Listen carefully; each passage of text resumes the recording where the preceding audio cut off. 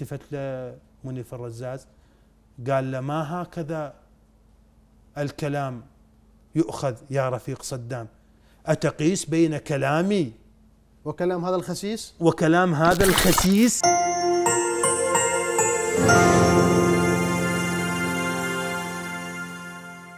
بالسبعة وسبعين اجى منيف الرزاز. طبعا من اجى منيف الرزاز منيف الرزاز كان يختلف عن البعثيين فكريا. من حيث؟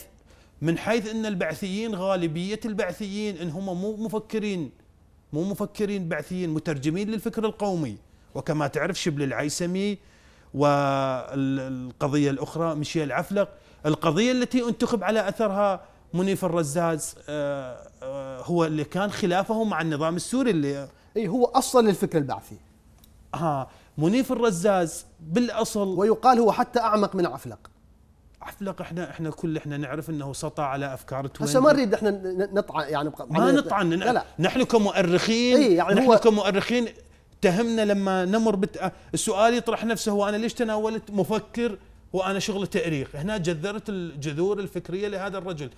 ال- البعثيين شوف بأدبياتهم. الجناح المحسوب على ميشيل عفلق والبعث أجنحة. كان ي- قضيتهم الأساسية إن هم ما يهتمون بالبطل التاريخي العربي. دائما الأبطال يستلهمون من الغرب. ليش؟ لأن آه، كانت القضية إن هم مترجمين للأفكار. زائدا أكو قضايا لا يتهموا بالدين أو الطائفة وهو خطأ.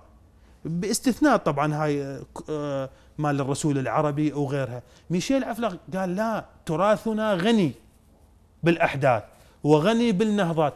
مثل ما لدينا كبوات لدينا نهضات. نحاول ننهض بتلك الكبوات بنهضاتنا. قال حزب البعث. حزب يجب أن ينهض من اخطائه ويجب يعني يعني كان يعتقد بأن البعثيين أيضا غير مؤهلين فكريا في العراق. من هذا؟ بالنسبة إلى منيف الرزاز يعتقد بأن البعثي العراقي يأتي عن طريق التزكية. لأن بعد 68 انتخابات. خلينا من الخلافات الفكرية. إحنا هاي الخلافات هي اللي جرت عليه لأن هو الخلافات إحنا شلون نخليها من الخلافات الفكرية؟ هذه الخلافات هي التي جعلته قال له عفلق لا تتماحك مع الرفاق بالعراق.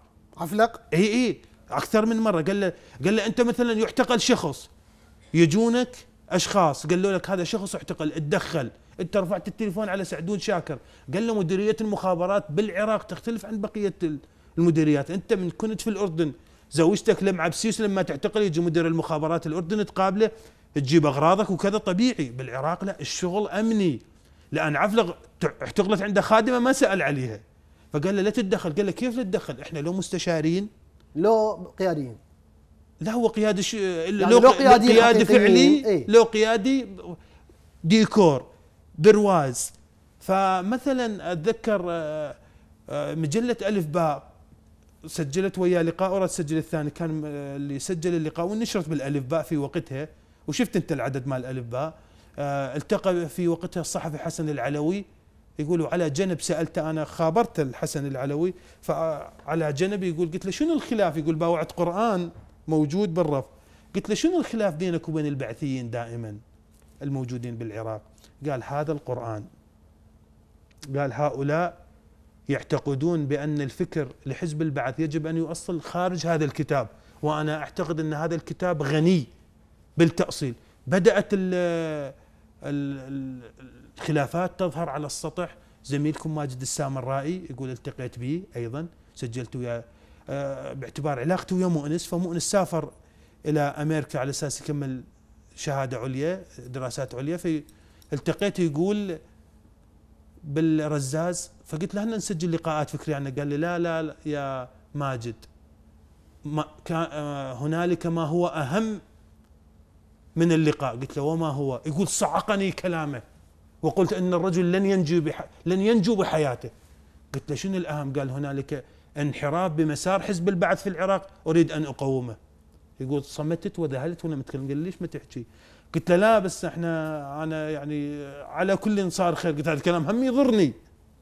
فيقول انسحبت واعتقدت مو اعتقدت تيقنت.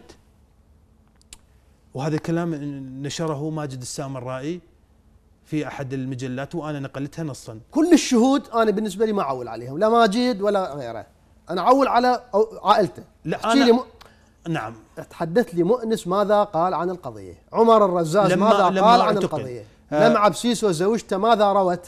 وزينة بنته ماذا قالت؟ هذه هذه تناولها كلها خلافات سجلوا خلافات بال 79 اعتقل مجموعة من البعثين بال 79 في قاعة معروف. الخلد معروفة وكان ال هو لإزاحة جيل يعني هو اجى العراق 77 من 77 لل 79 هو أمين عام مساعد. أمين عام مساعد ولكن ماخذ أمين عام البر- بس صور فقط صور. ما نعرف الحياة الداخلية للحزب إحنا نشوفها يعني بس ما نعرف. آه شوف المشاهد العادي. إي ما نعرف الحياة الداخلية ماذا يجري. نعم.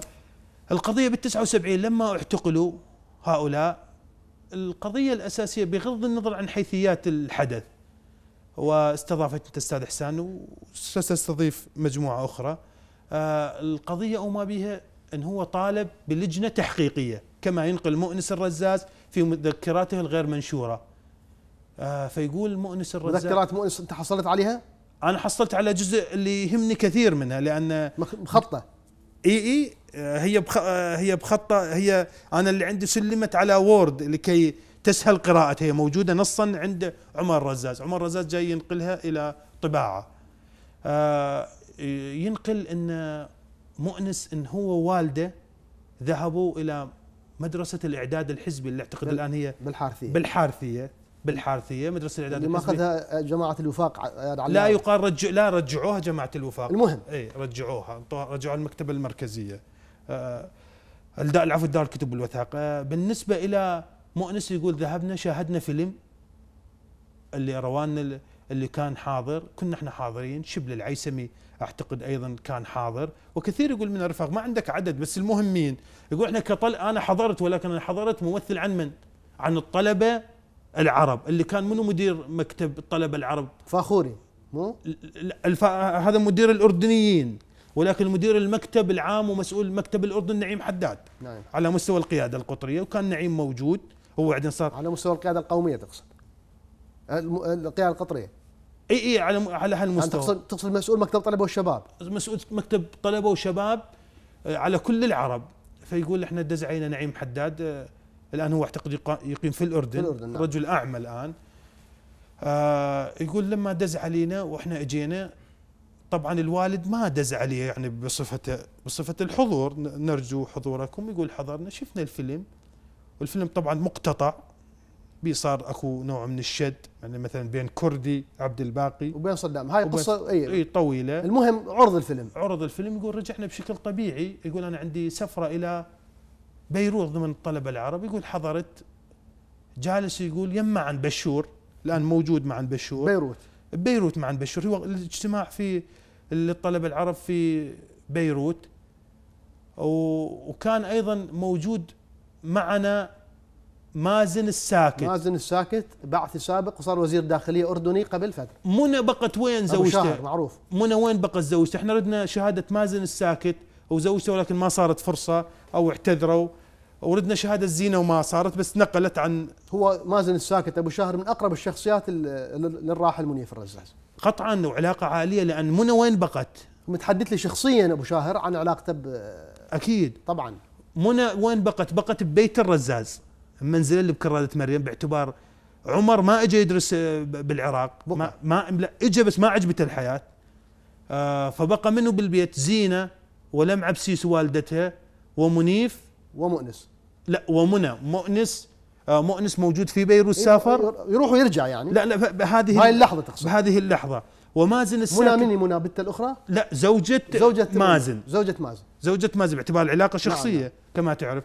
فلذلك هو بعد ما أمن أن مؤنس ما موجود منيف الرزاز وأمن أن عمر غير موجود. أولاده مأمن عليهم خالد إيه. قابل صدام حسين مؤنس ينقل عدة روايات. يقول لما قوبل صدام حسين أو قابل صدام حسين في القصر الجمهوري بحضور يعني بدر الدين مدثر عضو القيادة القومية لحزب البعث وهو سوداني قال لما قابله آه، يعني قال له صدام أنت ذولا وضعيتهم شنو موقفك منهم؟ قال له ماكو لجنة تحقيقية. أنت كيف تعتقل أناس بعثيين تقريبا خمسة منهم أعضاء قيادة قطرية؟ خمس خمسة والبقية أعضاء قيادة فروع أو, أو سابقا هم وزراء وسفراء وأعضاء قيادة قطرية. تعتقلهم بلا لجنة تحقيق. وبدون مؤتمر. وبدون مؤتمر. هسه شكلوا لجنة من القيادة القومية و- وحاسبوهم بدنا نشوف قال صدام قال له هذا شيء عراقي شو لك علاقة أنت؟ قال له هذا شأن عراقي. قال له أحنا من أنا من اتفقت وياك بال 77 ان أجي مو مستشار. شنو شأن عراقي؟ قال له أنت تطلع صدام حسين بالتلفزيون. قال له كيف تريد مني أنا بالتلفزيون يا رفيق؟ صدام أخرج وأتكلم. عن قضية هي بالأصل آه، لم تثبت القطعية والجزمية فيها في اشتراك هؤلاء بمؤامرة. قضية ظنية مو يقينية. أصلا ولا ظنية هي. هو ما مقتنع بها ظنية. مثل ما أنا وياك ما مقتنعين لأن إحنا كمؤرخين ما مقتنعين بها لأن نحن نسير مع الدليل. لذلك آه، أصبحت مشادة بينهم. صدام استخدم طريقة جدا خبيثة وهو استخدم عبد الحسين. محيي عاد محيي عبد الحسين المشهدي. يقال أرسل على محيي لا مو يقال هو أرسل عليه لأن محيي محيي والرفاق اللي معه الأربعة. محيي شاهد تحت الطلب. محيي شاهد تحت الطلب. إحسان وفيق السامراء يقول هو مضروب أبرة. طيب مضروب أبرة بقاعة الخلد. هم مضروب أبرة هنا شغل أبر هو؟ لذلك من دز علي محيي دز على محيي عبد الحسين المشهدي قال له من معكم؟ لا. يقال قال له فاتحت الدكتور منيف؟ إي هي بهاي اللغة يعني أنتم أنتم غير الموجودين بعد من وياكم هو منو؟ هو بدر الدين مدثر جالس وصدام حسين المجيد ومنيف الرزاز. هو هو يس- يسأل قطعا على الثلاثة. هو مو بدر الدين بدر الدين مدثر قضى عمره متملق لأن توفي. هو يهتف لصدام. قال له فاتحنا دكتور منيف الرزاز. وكأنه عرف المطلوب منه محيي قطعا سيناريو معدود. وكأنه عرف يعني إي بالايحاء إي إي بعد عرف لأنه شاهد تحت الطلب. قال له فاتحتوا الدكتور؟ قال له إي فاتحناه قال اعطيتوه مال وافق؟ قال لا. يعني بقى بهذه اللحظة ولكن فاتحناه فاتحناه وحده تكفي خليه بدائره الشبهه إي مو مو القرارات شنو رد فعل القرا- منيف؟ القرارات اللي عند حزب البعث إن الشخص أنت لا يجب أن تكتب تقرير على مؤامرة لقلب نظام الحكم. شنو رد منيف؟ قال له دق الج- الجرس قال له تريد نجيب عدنان حسين الحمداني؟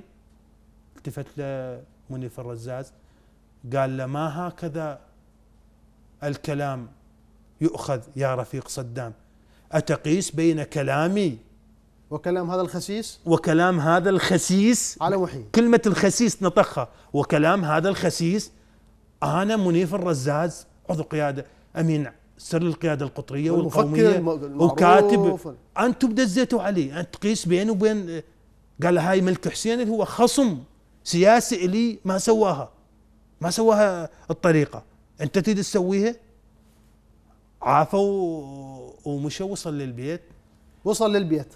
خلينا نوقف فاصل ونكمل. نواصل. مشاهدينا الكرام وقفة ونتواصل مع ضيفنا الباحث والمؤرخ الأستاذ فائز الخفاجي